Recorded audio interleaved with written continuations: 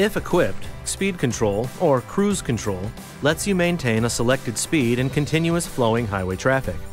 To activate cruise control, push the on-off button on your steering wheel.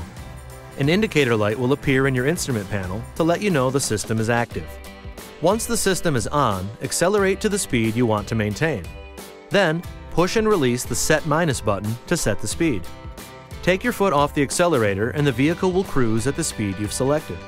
To disengage the speed control, tap the brake pedal, push the cancel button, or use normal brake pressure to slow down. These actions will not erase your set speed memory.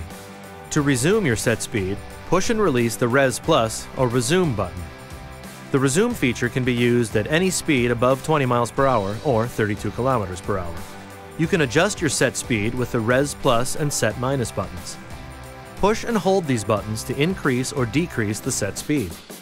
Just release the buttons when your desired speed is reached. Tap the buttons to change speed in 1 mile per hour or 1 kilometer per hour increments, depending on the mode your speedometer is in. Tap three times and your speed will increase or decrease by 3 miles per hour or 3 kilometers per hour. To deactivate the system, push the on-off button a second time. It's best to leave the system turned off when not in use. This video is not intended to take the place of your owner's manual. For complete details and other important safety information, please see your owner's information.